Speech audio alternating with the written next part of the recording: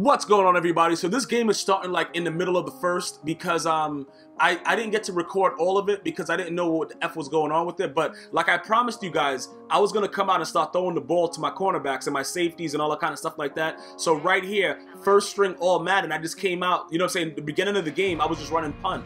You know what I'm saying? Because I don't really give a F about, you know, these dudes' problems or whatever like that. So uh, this dude right here, he's going to be actually one of my first victims to get handled by, by, my golden ticket wide receiver Bob Sanders. You know what I'm saying? Like right here, he was trying to do what I was doing, like trying to run fake punt, thought he was throwing dots, whatever. Dude's a bum. So we're gonna come out right here and we're gonna hit him with a Bob Sanders dotty. Right, yo, give it to oh, you get Bob Sanders, bitch. Yeah, let's go.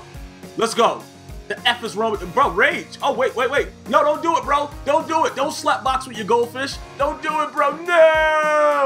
We'll see you guys and girls next time. One love.